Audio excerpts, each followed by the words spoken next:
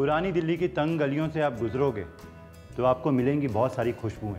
वो ऐसी खुशबुएँ जो आज की नहीं, बहुत पुरानी हैं। और वहाँ पे बसती है हिंदुस्तान की हिस्ट्री। हिस्ट्री रिच खानों की, मुगलई कुजीन्स की। तो मुगली जो कुजीन है, वो अपने आप में बहुत ही ज़्यादा कॉम्प्लेक्स है। क्या खुशबूदार है अरोमाज हैं। तो जो कि आजकल पूरे हिंदुस्तान में, क्या पूरे वर्ल्ड में बहुत ज़्यादा पॉपुलर है। तो आज मैं भी बनाने वाला हूँ अपने किचन में, जिसका नाम है पुरानी दिल्ली स्टाइल मुगलई मटन। तो ये रेसिपी मैं बनाऊँगा, ज़रा ध्यान से देखना, आसान है, मगर मसालों का ही खेल है सारा। तो वो आप थोड़ा सा ध्यान से देखना, क्योंकि मैं आपसे पूछूँगा रेसिपी के दौरान एक सवाल। और अगर उस सवाल का आपने दिया सही जवाब, कमेंट करके तो लकी विनर्स को मिल सकता है टाटा संपन्न की तरफ़ से एक्साइटिंग गिफ्ट हैम्पर तो ज़रा ध्यान से देखो और शुरू करते हैं। तो सबसे पहले मैं गैस जला लेता हूँ और नॉर्मली जो खाना है मुगलई, वो बनता है देसी घी के अंदर। बट मैं यहाँ पे आधा तेल और आधा घी यूज़ करूँगा। तो यहाँ पे गया ज़रा सा तेल और देसी घी। तो तेल को और घी को मैं हल्का सा गर्म होने देता हूँ, फिर इसके अंदर जाएँगे खड़े मसाले। तो खड़े मसालों में सबसे पहले तेज पत्ता, उसके साथ साथ कुछ काली मिर्च के दाने लौंग,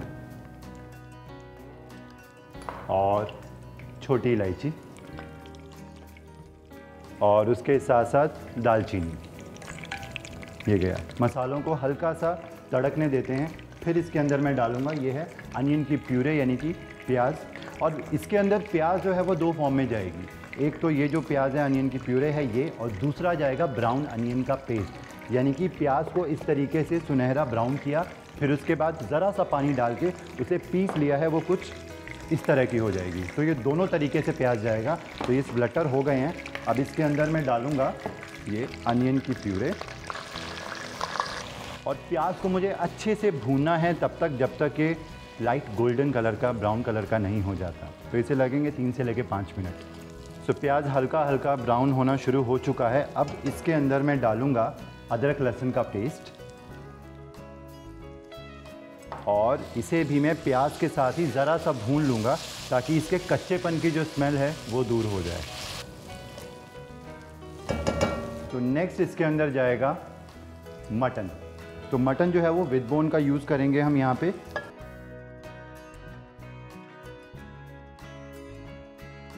तो ये डाला मटन और इसके अंदर सीज़न कर देते हैं नमक और उसके साथ साथ रेड चिली पाउडर और लाल मिर्च का पाउडर डालने के साथ साथ इसके अंदर मैं डालूँगा सूखी हुई लाल मिर्चें भी। तोड़ के डाल देता हूँ मैं। और इसके साथ साथ थोड़ी सी जावित्री। अब मटन की होगी अच्छे से भुनाई, कम से कम तीन से लेके पाँच मिनट के लिए। और फ्लेम जो है हम हाई पे ही रखेंगे। तो मटन जो है उसकी भुनाई हो चुकी है तीन से लेके पाँच मिनट के लिए। नेक्स्ट इसके अंदर मैं डालूँगा दही। और दही के साथ साथ जो मैंने आपको बताया था ब्राउन अनियन का पेस्ट वो। और रिचनेस के लिए हम डालेंगे काजू का पेस्ट और इन सारी चीज़ों को अच्छे से मुझे मिक्स करना है और इसे पाँच मिनट के लिए मैं कुक करूँगा, ताकि जो सारे मसाले हैं वो दही के साथ ब्राउन अनियन का जो पेस्ट डाला है मटन के साथ अच्छे से वो जस्ट हो जाएँ। फिर इसके अंदर हम डालेंगे पानी और बस, पकने के लिए छोड़ देंगे। तो नेक्स्ट अब मुगलई खानों के अंदर एक कॉम्प्लेक्सिटी होती है, मसालों की फ्लेवर्स की।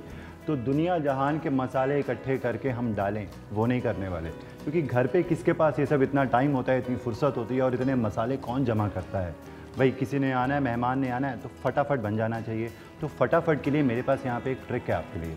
वो ट्रिक क्या है? मैं यूज़ करूँगा यहाँ पे मीट मसाला और इस मीट मसाले की ख़ास बात यह है कि एक तो बनाया गया है ख़ुद मास्टर शेफ़ संजीव कपूर द्वारा और दूसरी ये कि जिस तकनीक से इसे बनाया गया है ना, इसके अंदर सारे नेचुरल ऑयल्स हैं, वो बरकरार रखे गए हैं, ताकि इसका जो फ्लेवर है, वो मैक्सिमम आए। तो ये जो मैक्सिमम फ्लेवर वाला मसाला है, ये गया हमारे मीट यानी कि मटन के अंदर। बस हल्का सा इसे मिक्स कर लेते हैं और अब इसकी बनाते हैं हम ग्रेवी सो नेक्स्ट इसके अंदर, पानी में ऐड कर देता हूँ। जितनी आपको करी चाहिए, क्योंकि इसके अंदर तरी जो होती है वो अच्छी खासी होती है, क्योंकि इसे इंजॉय किया जाता है खमीरी रोटी के साथ और शीर माल के साथ, जो तंदूरी वाली, जो मोटी वाली, जो मैदे की रोटी होती है, अफ़गानी रोटी उनके साथ, ताकि ये जो अच्छी सी जो करी है, वो उसके अंदर आप अब्ज़ॉर्ब करें और फिर खाएँ। तो और मटन को भी पकने में वक्त लगता है, कम से कम आधा घंटा तो जाएगा। तो इसे अच्छे से मैं थोड़ा सा पानी और डालता हूँ। बस सब इसे करते हैं हम कवर, और इसे कवर करके कम से कम आधे घंटे के लिए या तब तक, जब तक मटन जो है वो अच्छे से गल नहीं जाता, तब तक मुझे इसे कुक करना है। तो मटन को पकते हुए तकरीबन आधा घंटा हो चुका है तो मैं आपको दिखाऊँ उसकी शक्ल। तो ऊपर मटन के पूरा ये आप देख सकते हो, रोगन आ गया है, और ये घी जो है ऊपर तैर रहा है। मटन भी बहुत बेहतरीन गला है।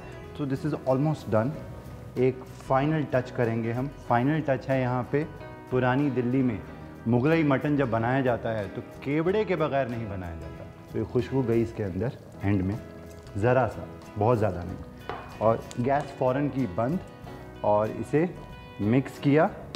क्योंकि केवड़ा डाला है तो उसकी जो अरोमा है, उसको अच्छे से मटन में एब्जॉर्ब करने के लिए मैं एक काम करूँगा। इसे मैं कवर करके बस पाँच मिनट के लिए यूँ ही छोड़ दूँगा, और फिर इसकी प्लेटिंग करेंगे। तो जब तक इसके अंदर जो केवड़े की अरोमा है, वो एब्जॉर्ब होती है, मैं पूछता हूँ आपसे आज का सवाल। सवाल ये है कि मैंने ये डिश बनाने के लिए, मुगली डिश बनाने के लिए, मैंने कॉम्प्लेक्सिटी ऑफ़ फ्लेवर्स के लिए एक ऐसी वो क्या चीज़ डाली है, जिसने बहुत सारे मसालों का काम कर दिया। बस आपको उसका नाम लिख भेजना है कमेंट करना है, और लकी विनर्स को मिल सकता है टाटा संपन्न की तरफ़ से एक्साइटिंग गिफ्ट हैम्पर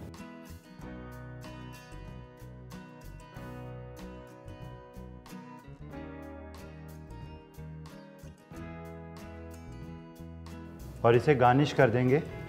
थोड़े से यहाँ पे तली हुई प्याज से और उसके साथ साथ कुछ चॉप किया हुआ हरा धनिया। और ये जो हमारा पुरानी दिल्ली स्टाइल जो मुगलई मटन है, ज़ोरदार ये बनकर बिल्कुल तैयार है, वही खुशबू, वही इसकी रंगत आई है, वही इसकी कंसिस्टेंसी आई है थिकनेस आई है। बस क्या चाहिए? गर्मा गर्म कोई अफ़गानी रोटी या खमीरी रोटी चाहिए। इसके अंदर डिप करेंगे ताकि इसकी जो सारी जो करी की गुडनेस है, वो एब्जॉर्ब कर ले और फिर गर्मा गर्म हम परोसेंगे और खाएँगे। आप भी खा सकते हो। ये रेसिपी ट्राई कीजिए घर पे। मेरे साथ फीडबैक शेयर करें कमेंट करें और अगर आपको मेरी वीडियोस वाकई में अच्छी लगती हैं तो लाइक करें और शेयर भी करें। उसके साथ हमारे चैनल संजीव कपूर ख़जाना को सब्सक्राइब करना ना भूलें। मिलता हूँ मैं कपिल आपको और भी ढेर सारी गज़ब की रेसिपीज़ के साथ। तब तक खाते रहो, खिलाते रहो and take good care of your goodbye